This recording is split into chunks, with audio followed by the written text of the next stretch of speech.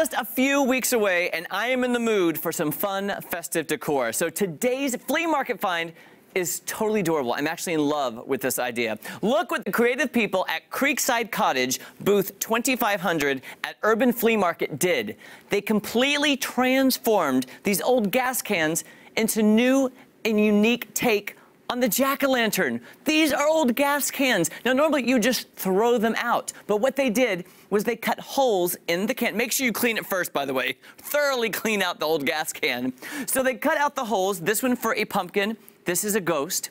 Then you went to cut small holes in the back because you can put LED candles right in here so it lights up on your front porch.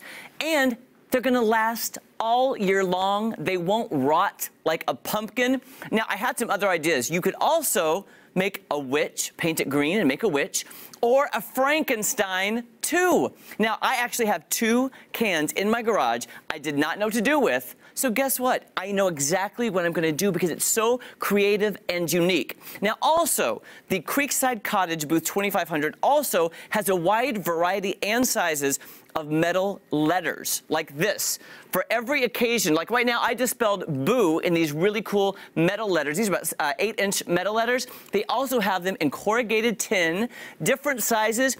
It's great wall art you could make something custom for your family, maybe with your last name or your kids' names. Or, you know, Christmas is coming up. Amazing personalized gifts for your family and friends for Christmas. I mean, the creative possibilities are endless. So make sure you head to Urban Market this weekend and see what treasures you can find. We'll be right back.